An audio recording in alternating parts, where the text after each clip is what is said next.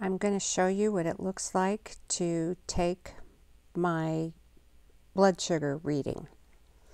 So you're seeing the screen on my phone um, because I use my phone with my blood glucose meter, which is a Dario.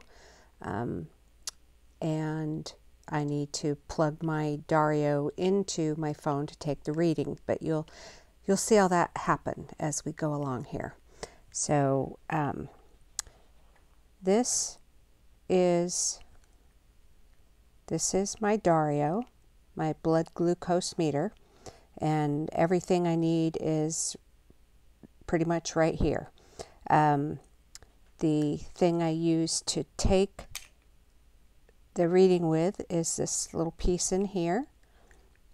And so that goes into the bottom of my phone and this has a little spot right here for the test strip. And my phone pops up the message asking me um, if I can let it take the reading. And um, I don't have to wait for that to upload.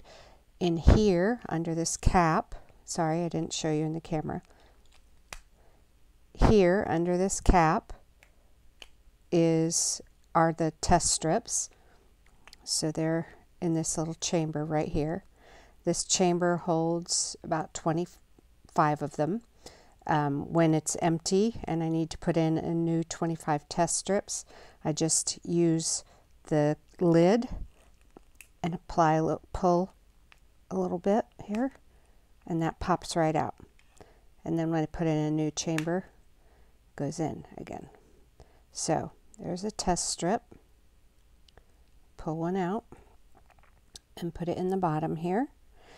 And this little tip end right here is called the pipette part of the test strip. Close the cap and put this back on. Okay, now um, this end here is where the lancing um, needle is. So I'll show you that. Just pull this off. Okay, see, there's the needle right there. Okay, and well, I should also show you. Um, this arrow here indicates that you pull this down. That's what you use to cock the needle and then there's an orange tab here that you would press.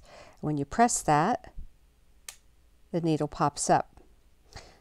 Um, but even with it popped up like that, when the cap is on, snapped back on, you don't feel any needle here.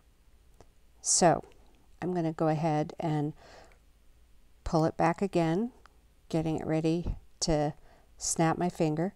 And I'm going to test kind of on the side of my finger. You don't want to do it right on the the pad or the fatty part of your finger or the tip of your finger because that tends to hurt more.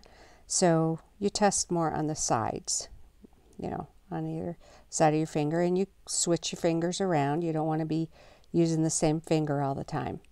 But I did cock it back. Okay, so it's ready to to take some blood. just press that and then push this button there and it raises a little drop of blood. Now what I like to do is just give it a little encouragement here. Just squeeze it a little bit. Now this first drop I actually just wipe away because um, I tend to get a better reading if I take the second drop. Okay. So all I need to do now is test, uh, touch the um, pipette end into the drop of blood. And it just pulls it right up. And then the phone, the reader starts reading. And that is actually a post meal reading for me. Um, I'll show you here. So I will go ahead and click touch the arrow or the check mark, touch the check mark, to save that reading. And now I'll show you what this looks like on the logbook. So I'll touch the logbook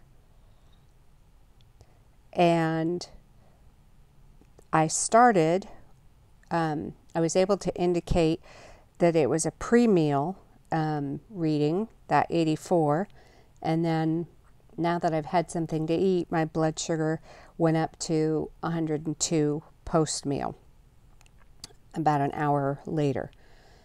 So, anyway, this is taking my blood sugar reading with um, the Dario. Now I'm going to pull this strip out and that's just going to be thrown away. And then I'm going to pull the little meter device out and just insert that back. It just slides in there, kind of sits in there.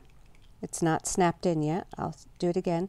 And now I push it down and it clicks in and my meter is all back together again.